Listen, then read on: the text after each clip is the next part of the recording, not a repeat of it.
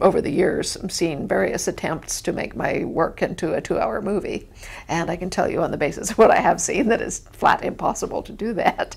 You couldn't come up with anything in two hours that would approach the uh, complexity of that story. And so it was a great relief to me when we got the opportunity to do a 16 episode television series. I was thinking, well, at least there'll be room, you know. Uh, you know, I knew Ron Moore had a great reputation as a storyteller and, uh, and a filmmaker. But he and his uh, producing partner Maril took the trouble to come out to my house in Scottsdale and spend two days with me talking through characters and storylines and backstories and you know things that I might not have put into the book but which would be helpful to them and sharing with me their own ideas for adaptation and explaining to me how it worked.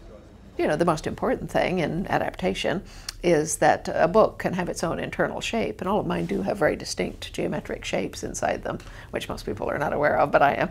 And uh, the thing is, a television show has to be divided into one hour episodes, each of which has to have a satisfying dramatic arc. So you go from a book that's shaped like this into 16 little arcs that are shaped like this.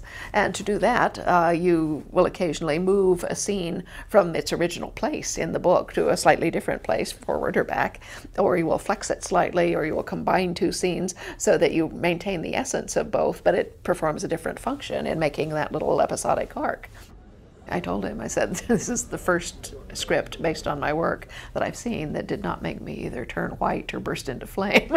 so, and I knew that if his idea of storytelling was based on character, we were in good hands because those are, are very strong, unique characters, and you can't get near them without uh, realizing who and what they are.